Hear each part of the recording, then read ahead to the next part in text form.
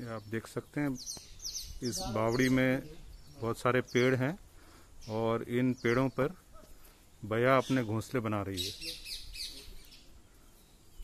ये आधे बने हुए घोंसले हैं और ये बया पक्षी है। ये ये सारी चिड़िया हैं ये। ये अपने घोंसले बना रही हैं, इस तरह से।